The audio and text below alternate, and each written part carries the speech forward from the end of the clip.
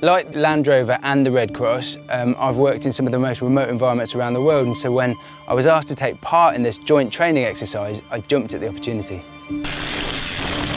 The team here at the Red Cross have to be ready for any eventuality, and I think the idea of this training exercise is that I'm going to help them. There was a crashed mountain biker that was lost somewhere in the forest. Okay, what are we doing? We're going to respond to a uh, mountain bike accident, so put on the blue light and the sirens, then drive fast but safe.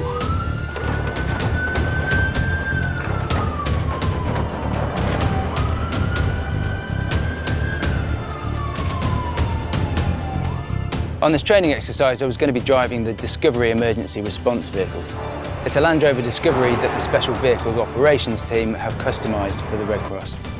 The vehicle is absolutely packed full of loads of high-tech equipment. It's got multiple radio systems, it's got satellite communications, it's got a drone which has got thermal imaging. Um, you can actually push on the screen and tell the exact GPS location of, uh, of where you're touching. It's um, a phenomenal piece of equipment. It's uh, now a bit of rougher terrain, so we should change now the terrain response uh, to rock mode and to low drive.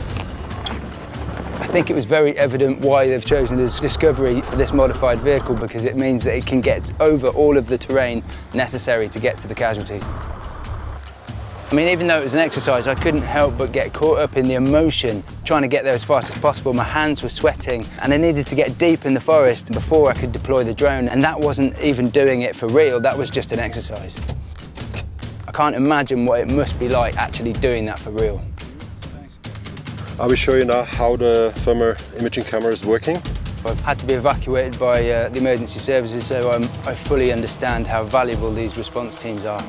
In terms of expedition vehicles, this is one of the coolest bits of kit I've ever seen. I was given the responsibility of the thermal imaging camera. I think I managed to pull it off in the end, but I wouldn't have done it without Marcus's help. Radio room, radio room, over. Radio room. We've located the missing mountain bike. Uh... The moment when the thermal imaging camera actually locked onto the casualty was utterly exhilarating. I just started buzzing because because it showed that the bit of kit was doing exactly what it was designed to do. For me, it's been so exciting to see the collaboration between Land Rover and the Red Cross. I mean, this vehicle has been designed specifically for the jobs that the uh, Red Cross need to do out here, and it does that job extraordinarily well.